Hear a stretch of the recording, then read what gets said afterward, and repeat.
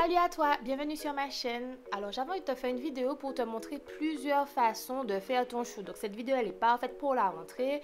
Euh, vous pouvez utiliser ces coiffures pour au travail, pour à l'école ou juste pour sortir.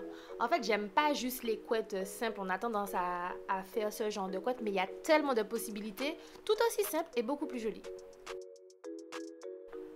Le truc, c'est qu'avec nos cheveux, nous avons de l'épaisseur, de la densité et des courbures naturelles qui font que quand on fait une couette, c'est pas très net. Beaucoup d'entre vous détestent ça, donc vous vous abattez sur des brosses et du gel qui abîment vos cheveux.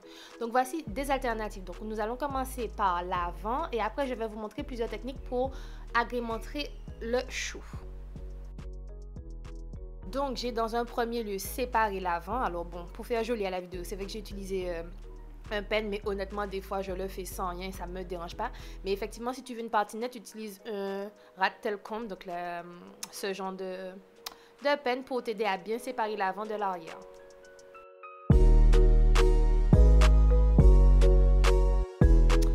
Donc, la première option que je te propose, elle est surtout pour ceux qui ne savent pas faire de tresse ni de twist collé ou tout simplement pour euh, ceux qui veulent ce genre d'enrodu. Donc, en fait, il faut vraiment juste enrouler les cheveux sur eux-mêmes et faire attention de bien attraper les cheveux.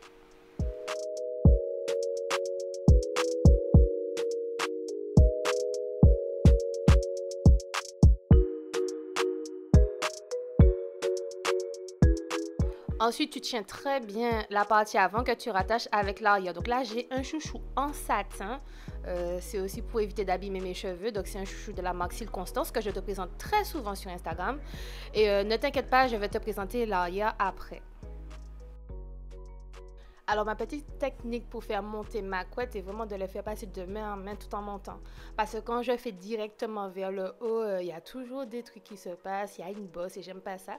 Donc, c'est comme ça que je fais monter au fur et à mesure. Et bien sûr, pour celles qui et ceux qui aiment le gel, c'est votre étape pour mettre tout votre gel plaqué aux cheveux. Moi, j'aime pas trop embêter mes chichis. Donc, option numéro 2, nous allons faire la twist ou la vanille collée, peu importe comment vous l'appelez. Donc, c'est plutôt simple, surtout si on ne sait pas encore tresser. Donc, j'essaie de vous montrer euh, en image parce que ce sera beaucoup plus facile qu'avec des mots.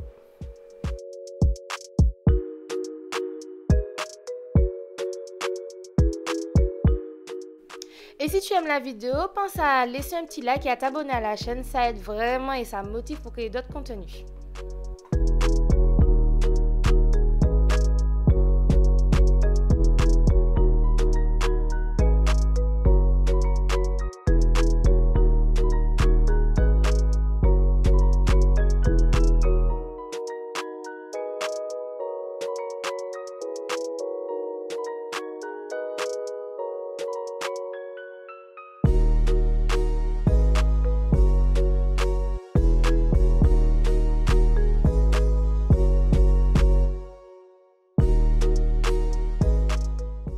Et voilà l'option numéro 3, la tresse. Alors encore une fois, je te laisse regarder parce que je pense qu'avec des mots, je vais plus t'embrouiller qu'autre chose.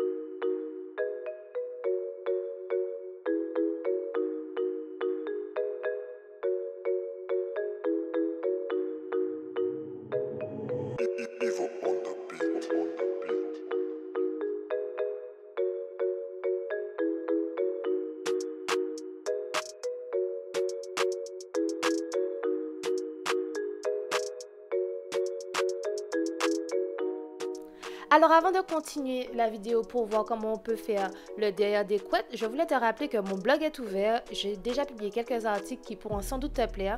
Donc c'est tout simplement nougamiel.com.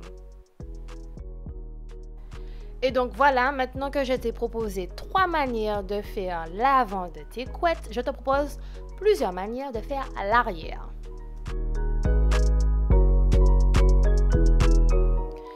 Donc, nous avons le chou que je dirais simple, mais il faut avoir des cheveux assez longs, sinon les cheveux sortent et euh, ce n'est pas le but recherché. En deux, vous avez la couette simple ou la queue de cheval, même si notre texture euh, ne ressemble pas du tout euh, à la queue de cheval, mais t'as capté. Alors en toi, tu peux tourner tes cheveux toi-même. Encore une fois, il faut qu'ils aient une certaine longueur, mais au moins cette technique permet d'éviter les cheveux qui sortent du chou. Néanmoins, je me suis acheté un bun et c'est vraiment mieux. J'ai le bun de la marque Constance. Donc ici, je te montre une autre façon de faire ton chou. En fait, je prends des sections que j'enroule sur elles-mêmes et après, euh, je les fixe à ma tête avec des épingles.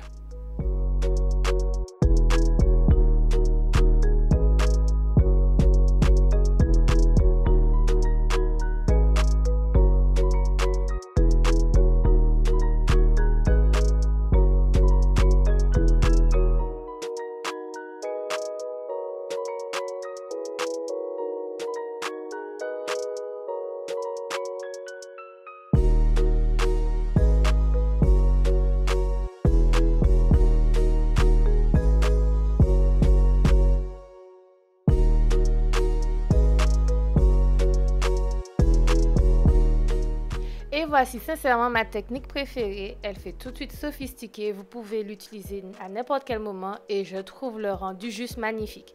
Donc vous faites de très grosses vanilles que vous allez épingler dans votre chou. et fait magnifique garantie.